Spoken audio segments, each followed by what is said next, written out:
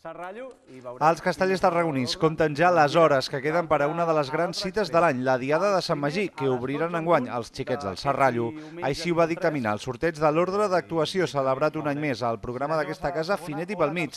Els serrallencs els seguirà a plaça la jove de Tarragona, que actuarà en segona posició. Els xiquets seran els tercers en actuar, mentre que els encarregats de tancar la Diada seran els castellers de Sant Pere i Sant Pau, en una actuació que tornarà a tenir els condicionants habituals de la plaça de les Cols, sobretot centrats en el fet de que les colles han d'entrar i sortir de la confluència de les cols amb el carrer Major.